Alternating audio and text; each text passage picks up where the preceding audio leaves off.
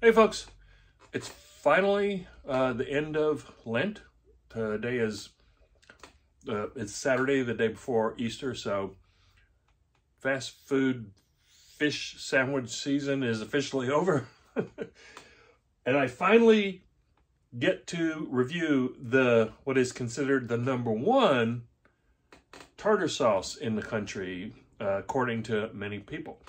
So what this review is, this this tartar sauce versus tartar sauce are going to be the second best versus the the number one, and I'll be the judge of that. So here we have Frisch's. This is my number one. I love this, but this is considered number two. I finally found beaver tartar sauce at a good price. I didn't want to buy a case of this. Uh, some people thought that was kind of odd that I couldn't find a good source.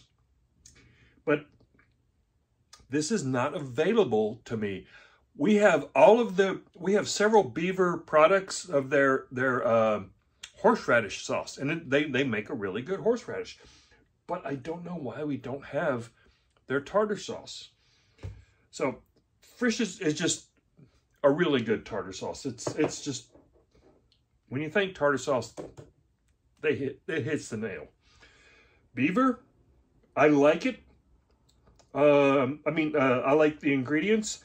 This one actually has fresh capers and dill. So maybe that's why a lot of people like this better because it has capers and dill. Some of the other ones that I reviewed, they had capers and, I don't know, kind of give it an odd flavor. But this is a really good one. And I have to give a shout out to uh, Kathy over at Two Cent Chick. I'll put a link in the description box in description box for her channel because she actually went through and reviewed pretty much every available fast food fish sandwich that you could find. Uh, and she gives a rundown of all the ones. I mean, just everything from like Captain D's, Popeyes, uh, Burger King, you know, all of them.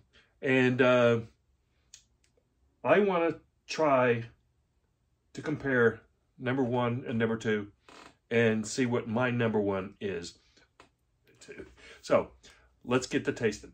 I am actually going to start off with Frisch's. Okay. This is a flavor that I am, and I'm using fish sticks. This is a flavor that I am familiar with. So just want to kind of get my taste buds uh, back in line. Yep, same grape flavor. Love, love this tartar sauce. So now, let's give Mr. Beaver here a taste. Now, right off the bat, it looks like it's a little thicker. Yes, definitely thicker. And you can see the, uh, wow, you can see the capers and the dill. Okay. Let's give it a taste.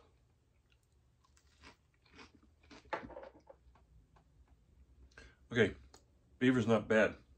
Beaver tartar sauce is not bad.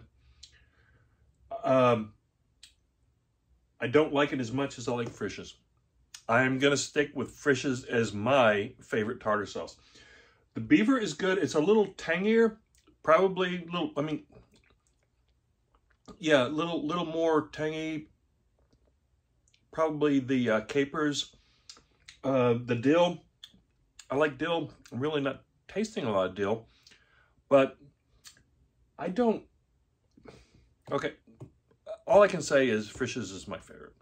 Uh, I mean, I'm, I'm sure many of you do like Beaver, but for me, it's going to be Frisch's. I'm glad I was able to try these two together and review them.